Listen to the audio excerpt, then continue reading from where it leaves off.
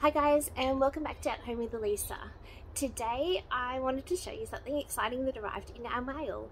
Um, I recently had my birthday and my husband wanted to take me out for a really beautiful romantic dinner and we would have spent a fair bit of money on dinner and I asked him if maybe we could go and just have a cheap eat instead and I could spend the money that we would have spent on dinner on plants. Seems how it was my birthday my wish came true and that's what I did so we went out we had cheap Mexican like kind of like ate it in the car and then we came back home and I was straight onto my phone and ordering some plants I think it's what plant people do.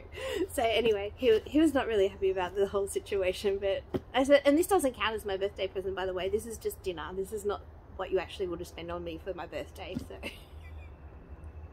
So anyway, my plants have just come in the mail. So I ordered from a company called Australian Plants Online and I haven't opened it yet and I'm so excited to open it up so that I can show you what I got. So they're a company that send out tube stock and they send out like Australian native plants but they also send out international plants. So I've been doing a little bit of looking on their website and stalking them a little bit, you know, like as you do.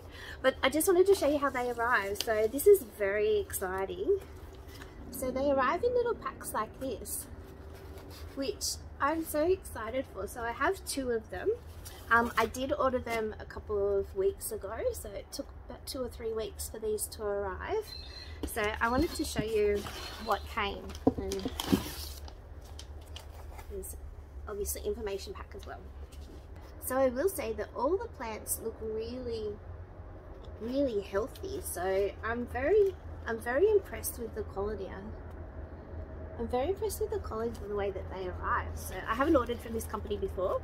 Um, I had some relatives that I actually had ordered through them, so I was kind of keen to give it a go.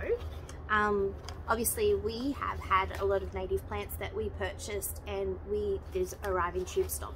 We actually purchased like big pots full of Australian natives, and some of them, I think we got some boronias. We got about six boronias, and they have a beautiful fragrance to them, Australian native, but they just all died in our floods. So I think the six of them added up to like nearly $300 for these boronias and some native grasses and we've just had so many Australian natives that we've planted with all the flooding and all the rain that we've had they've literally just died. So we do have some that were planted up on a berm and because they were obviously able to drain well they have survived but we have lost hundreds of dollars worth of Australian native plants since we've been here.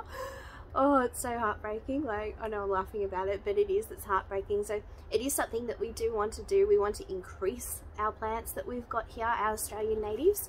Um, obviously very down the back we do have quite a few growing down there naturally and we'd like to just sort of do our landscaping will be a mix of Australian natives and also like Europeans because you know, we're called Magnolia Acres, that's the name of our property.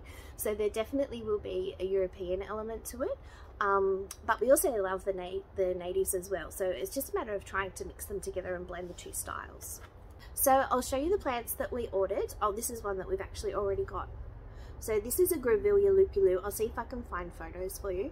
Um, this is a Grevillea lupulou, grows to about a meter and a half and it's got beautiful, I'm not a big red person, but it's got like red and orange and kind of like a cream center. So a beautiful Australian native. I do like Grevillea plants. We purchased a lovely big Grevillea tree um, and it had beautiful cream um, blooms on it and it was one of the ones that died so I have to find another one.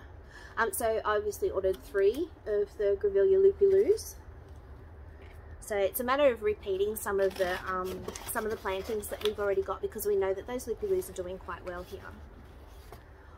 Ooh, ooh, okay. So if you have watched my property tour that I did, um, the first full property tour we ever did, down the back I had what was called, I had a favourite tree, but I also had a favourite shrub, and it was a hairpin banksia. I'll see if I can find a photo or footage of that. So that is a beautiful hairpin banksia. So I oh look it looks like it's just bursting I can see the roots underneath so I cannot wait to plant that out I'm gonna have to find spots for these straight away I think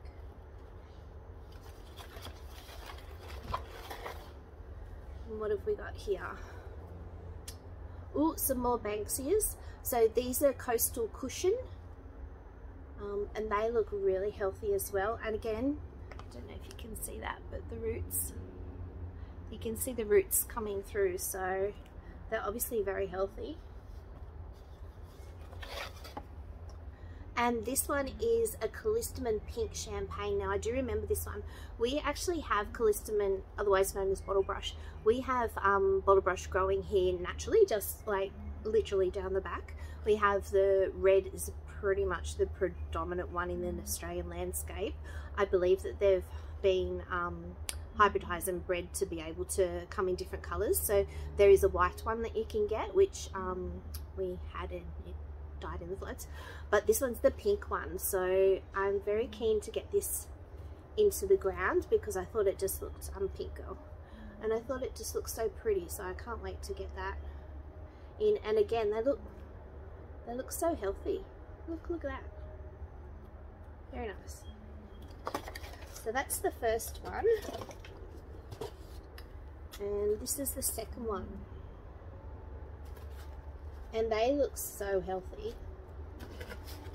So from memory I think I ordered a few of some of the same varieties like um because I do believe in in landscaping when you're doing landscaping is to repeat some patterns.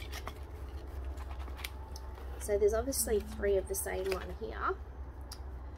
And these are Westringia peppermint creams. So look at that. Look at that variegation there we go. So look at that variegation on the leaves. That's just beautiful. So we do have quite a few Westringias here. Um, there's different types of Westringias um, it's also known as coastal rosemary. Um, so we do have quite a few coastal rosemary here. Uh, when I first met my husband I have said this before but when I first met my husband I told him I was a bit of a plant nerd and um, he has done a greenkeeping course and knows a lot about grasses and turfs and all that sort of stuff. But he did remember one of the um, plants which was called Westringia fruticosa so now every time we buy we drive past and we see one like council used to be in plantings around here I always like play dumb and say oh darling what was the name of that plant again that you know that, that one over there? And he'd be like oh that was a Westringia fruticosa and it's like a little joke that we have. So we always wanted to make sure that we use quite a few of them around here. Um, they are beautiful as well. Like they come in so many different, I haven't seen the variegated one, but they do come in so many different types. Ones with white flowers, ones with purple flowers, um, and different heights as well. We're actually looking at maybe um, potentially putting one on a berm in between our property and the next door property. We're having a berm sort of um, built up and we're looking at planning it out with, with Stringia fruticosa because it's kind of cute. But yeah, so we got three of the peppermint creams. So very, very happy. Like they all look so healthy. And look, again, they're ready to get into the ground. And I think this was the last plant that I ordered.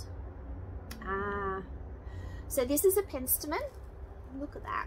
So this is a native grass. So I'm very keen to get, excuse our rooster in the background, that's Eugene. He goes like that most of the day but I'm very keen to get these into the ground. So I actually ordered five of these. Um, so we're doing some planting along, we have an embankment garden. Um, well, it's just an embankment at the moment, but we have been planted out into a garden with um, like lots of fountain grasses, obviously. So this is called a swamp fountain grass, which is native to us. Um, so we're looking to plant this one out um, and also like some salvias. I'd love to get my hands on some Mexican sage, um, maybe some penstemons, lamb's ears. Um, we just really want to make it quite pretty. It's very ugly at the moment.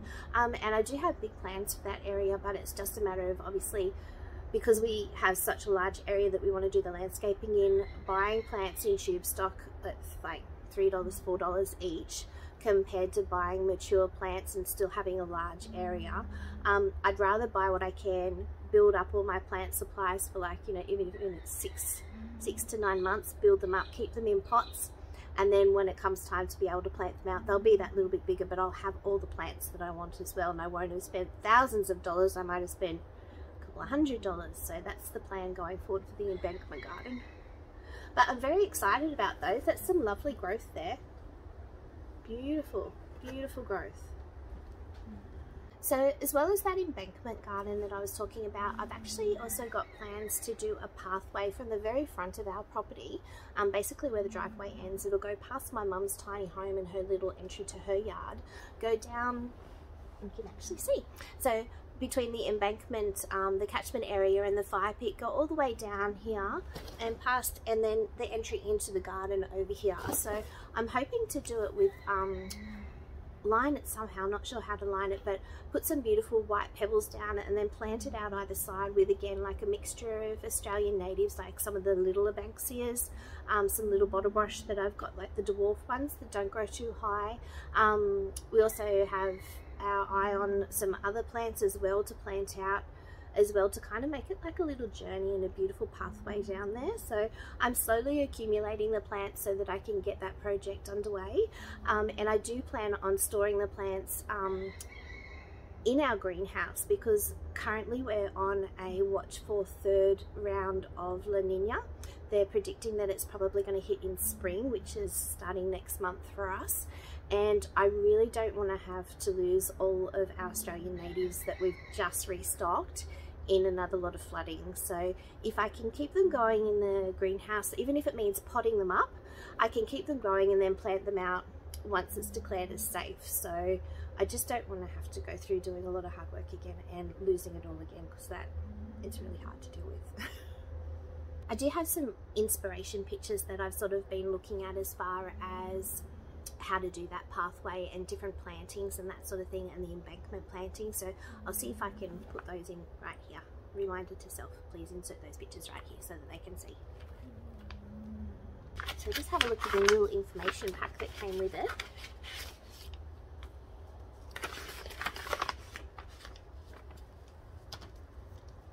Ooh, seaweed concentrate.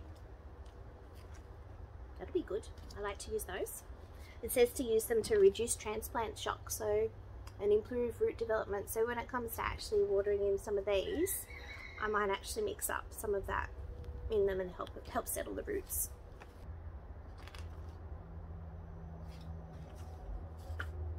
So the information pack that came with it is actually a winter gardening guide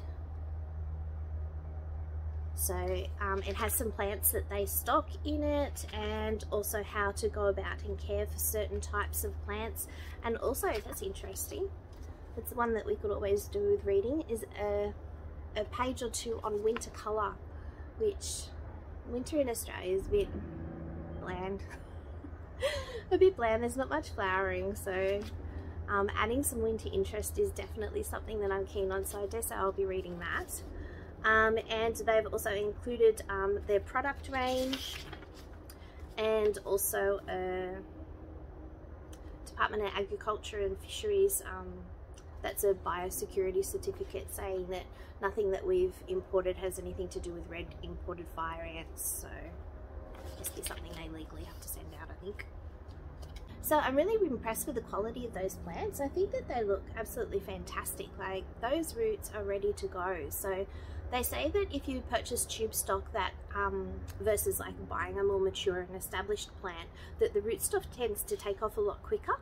So they recover a lot quicker being smaller. So it would be great in one hand to plant them into the garden. Um, however, a little bit stressed out about that at this point in time with that whole La Nina thing. So I think I will actually keep them in the greenhouse where I know that they're safe and they're protected. And as I said, just slowly build up some of the other plants that I want to do. And then hopefully once if we get it announced that this La Nina isn't going to happen in springtime, we might actually be in a normal sort of, I think they call it a neutral weather pattern for us. So we'd be in a neutral weather pattern, which would mean then that I'd be willing to take the risk on planting everything out because I think it's going to be safe and we're not going to have like those excessive, you know, thousand milliliters of rain in a few days sort of thing. So it's just, it's too much. I do have plans to um, purchase some more of the plants from Australian Plants Online. Um, they have my favourite gardenia. I'm a gardenia girl because I love the fragrance of them and a simple white bloom is just stunning to me. So um, they have Gardenia Magnifica um, and I'm looking to plant those out once we actually do build our forever home. We know exactly where it's going but obviously you can't do any planting out because that'll get ruined when the house sort of gets built. So it's a big section right in the front of, oh, sun's out, wow. Big section right in our lawn that is exactly where our forever home is going to be and we can't do any landscaping there. So it's just left as if it doesn't exist at the moment. It's like a no man's land. Um, but I do plan on planting out some gardenias all around the house because I love their fragrance. It's just timeless. And I also have my eye on, they do have a few different varieties of lavender. Um, the lavender and the gardenias I'm looking at planting out. Um, I have obviously a little bit of a flooding issue with one of our gardens and we're looking at putting in a garden bed all along the very front of the chicken coop and of our actual cutting garden. Um, it'll be a raised garden bed in an effort to try and stop some of the water that comes down like flash flooding from the rest of the block to that area. Um, so I'm looking at planting that out with the Gardenia Magnifica and also some of the lavender. I do love Avonview, however, I haven't actually decided, I haven't hit purchase yet. um, I haven't actually decided on if that's the one that I'm going to go for. So there's a few other varieties that I'll just want to make sure I do my research and, and get the right ones. So lavender's quite hardy here. I know it only lasts for a couple of years in in landscaping but I think it's still beautiful anyway and it's definitely worth the investment. And when you're purchasing at tube stock prices it's like you know three or five dollars compared to if you were buying more established you'd be looking at like 24 25 dollars. So worth the investment Thank you so much for joining me today while I opened up my Happy Mail. It was very exciting. Um, I really I like that idea of, you know, don't go out on the expensive dinner, just put it towards the garden. Like, I think that's a fantastic thing to do. my husband wasn't really impressed, but I think it's a great idea. So I'm looking forward to planting some of those. Um, as I said, I'll wait for that weather to pass and see how it goes. But otherwise, I think I'll keep them in the greenhouse where they're nice and safe and I don't have to worry about them. I just can't wait to get those plants into the ground. So if you haven't done so already, please consider subscribing and then you can watch as I plant out the embankment and have all those pretty dreams come true. It really is a slow process building the property of your dreams. I think everybody has the slow process. Like these things take time, but I'm so excited to just little bit by little bit, you know, just getting that little bit further and and sort of, you know, doing a, a large project at a time to try and finish things off so that you actually feel like you're accomplishing something. So my current goal is to finish off our vegetable garden. Um, we have sort of got where we're a little bit dry at this point in time, enough to get trucks in and to be able to have deliveries made, which means then that we can finish the garden bed off, um, sorry, the whole garden itself off. So hopefully that weather sticks around and I can get some materials delivered in time to actually have that sort of come to fruition very shortly. So it would be so nice just to have it so pretty. I can't wait. I want things to be pretty. I'm um, over the whole functional part. I want things to be pretty now. So bit by bit we'll get there. And thank you so much for joining today.